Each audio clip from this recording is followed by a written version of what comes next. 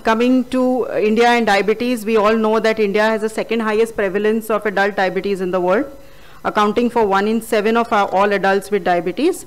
Uh, number is expected to rise exponentially.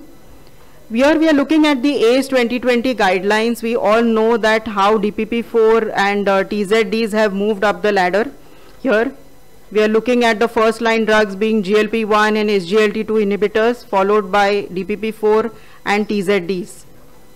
This is the 2018 ADA EASD consensus which gives us a, when there is a compelling need to minimize hypoglycemia, what we should be doing. To minimize the patient cost as well, we could be using TZDs in our practice, which have been there for quite some time. We look at the ADA 2022 uh, pharmacological treatment for type 2 diabetes, where DPP-4 inhibitors have an intermediate efficacy. We are looking at combining them with uh, TZDs, that is pioglitazone now. So there is a, a, a action which is neutral, although there is a weight gain seen with uh, pioglitazone here, definitely. Renal dose adjustment uh, is not there with teneligliptin, drugs like teneligliptin. And now when we look at the fluid retention, and we'll come to that, there is an issue. So we could counteract it with using another drugs. Now let us look at pioglitazone, which is actually a forgotten cardioprotective insulin sensitizer. We are looking at the Chicago trial, which was done uh, uh, versus glimepiride on carotid intima media, thickness in type 2 diabetes. So this was a randomized double uh, blind study and it had uh, actually examined 462 patients with a dose of 15 to 45 milligram per day versus glimepiride 1 to 4 milligram per day. The study duration was 18 months and this is how we have seen that pioglitazone actually slowed progression of the CIMT compared with glimepiride. So uh, definitely you are seeing a change from the baseline to week 72 in the mean and the maximum CIMT of the common carotid artery. Uh, the famous proactive study, it was a prospective multi-center randomized study conducted across 19 countries, 5,238 patients and 34.5 months of study duration. Target dose was 45 milligram. However, uh, this dose was not titrated as per the symptoms. So, uh, investigators were allowed to go to a maximum of 45 milligram of pioglitazone versus placebo. Of course, they also had other medications as standard of care. Now, when we look at the relative risk reduction, if you look at the primary composite endpoint, it was actually a multifaceted composite endpoint which is never seen in recent trials. You look at a leg revascularization as a primary endpoint which is extremely difficult to achieve and hence it fell short of this endpoint. The relative risk reduction was there. The secondary composite endpoint was achieved 16%. Significant uh, re uh, relative risk reductions in fatal, non-fatal MI, composite of CV deaths, non-fatal MI. Here the number needed to treat would be 48 patients for 3 years to avoid one major CV event. So this was a good study. There was no increased hospitalizations due to heart failure over a 10 month follow-up in fact, pioglitazone had improved the LV diastolic function. However, edema was reported in 26.4% patients with pioglitazone compared to 15.1 with placebo. So average weight gain from baseline with pio was 3.8 kg plus compared with 0.6 for placebo. So overall incidence of cancer which was uh, equivalent in both the groups, bladder cancer was a concern and we will be coming to that. Conclusion, it concluded that pioglitazone can reduce the risk of secondary macrovascular events in high risk type 2 diabetic patients and establish macrovascular disease. Now we are looking at a very famous IRIS trial. So this was had a good follow-up of 4.8 years. This was a drug which was done in patients without diabetes but with insulin resistance with HOMA-IR score more than 3. Sample size was good at 3,876 patients. Pioglitazone target dose was 45, but here they titrated the dose if the edema came up. So that was an advantage. So when you look at the results, you are looking at a stroke and MI 9% versus 11%. Weight gain was there as discussed, pio versus placebo. There was edema. fracture risk was there. In non-diabetic patients with recent stroke or history of stroke or TIA, the risk of stroke or MI was much lower with pioglitazone. So again, it achieved its purpose.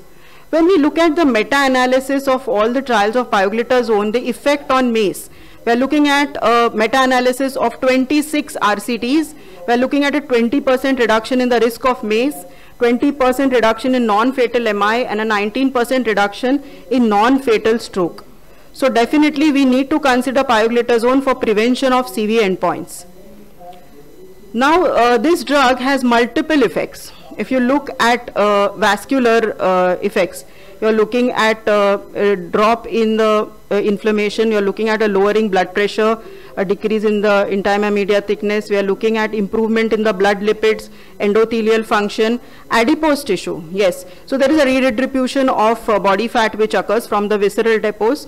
So then there is a positive uh, key to that arterial stiffness going down, there is improvement in the blood pressure, which signifies that there is more of vasodilatation. So here we are looking at this bladder cancer cases comparison. So uh, there was uh, at exposure in India, it was not significant. It has been done by different countries in France, in USA, in United Kingdom also it was non-significant. And finally a statement was issued by the FDA in 2015 that after 10 years of follow-up, and uh, studies conducted across four European countries in 1,12,674 patients did not show increased risk of bladder cancer. So hence that was out. Now uh, we heard uh, Dr. Shah sir talking about uh, pioglitazone and NAFLD. Yes, so then it, it's there. Definitely it has been recommended, indicated even in biopsy proven NASH regardless of diabetes. So here we can use pioglitazone in our patients as we all know that it's progressing very rapidly to cirrhosis and we need to prevent that. Let us look at the benefits versus the risk.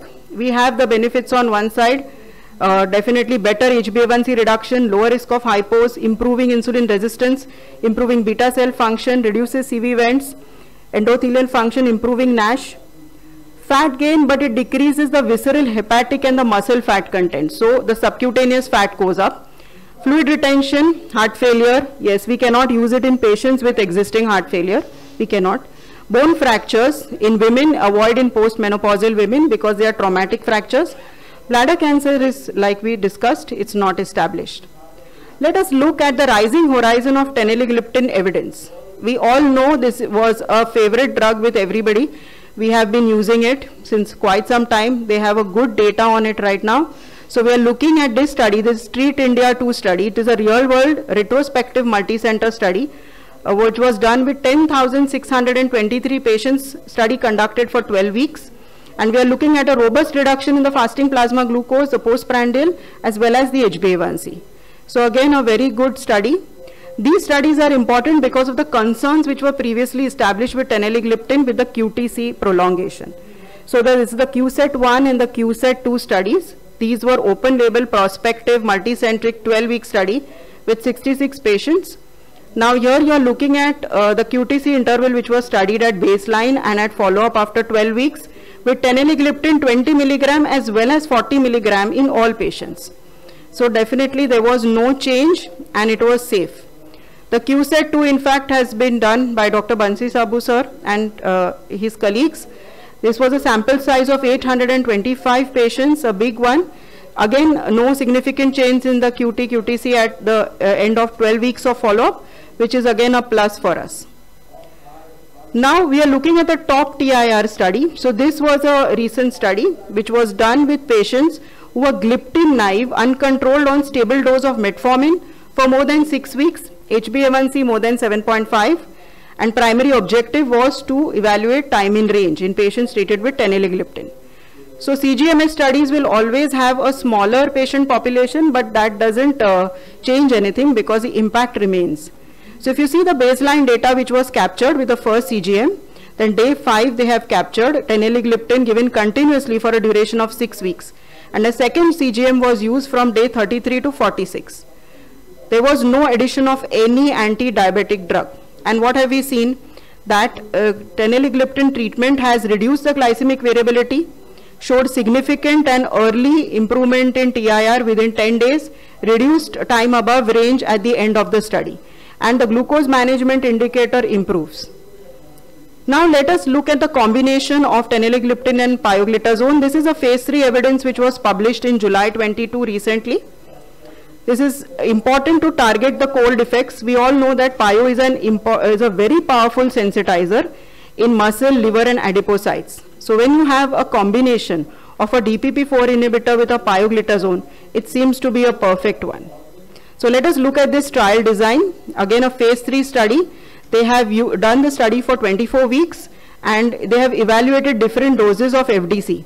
So that is teneligliptin 20 plus pioglitazone 15 and 30 versus plain pioglitazone and plain teneligliptin also. So this was done in India, 335 patients enrolled and you can see the comparator groups. The inclusion criteria, metformin was given 1 gram for all for 3 months, A1C between 7 to 10 and change of HbA1c fasting and PPG was noted and proportion of A1C achieved uh, less than 7 at the end of study. So what are the results? So let us look at uh, the parameters here. If you can see there are equal number of patients in each group which are age matched cohorts along with the BMIs also. If you notice that the BMI is around 24 and 25. Now you look what happens at 12 weeks, what happens at 24 weeks. You're seeing a reduction which is fantastic and with the combination of the two, it is even more so. So you're seeing a reduction which is to the tune of 1.57, 1.36 in HbA1c. So percentages of patients achieving target A1C at uh, 24 weeks was very high with the PIO 30 and Teneli 20. In as you compare with the others, even with the uh, 15 milligram, you are seeing a fantastic improvement. So here we are looking at the mean change in the fasting blood glucose, in the postprandial blood glucose, again which is significant with the blue line is uh, what we are looking at. The green one and the blue one are the combinations. So this is uh, actually an alogliptin plus pioglitazone phase 3 study. So this was approved combination by the FDA in 2013.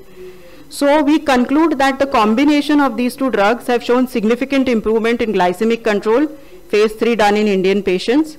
Combination has no increased risk of hypos and pioglitazone benefits are above and beyond glycemic control, which was evident with proactive IRIS trials in reducing CV mortality.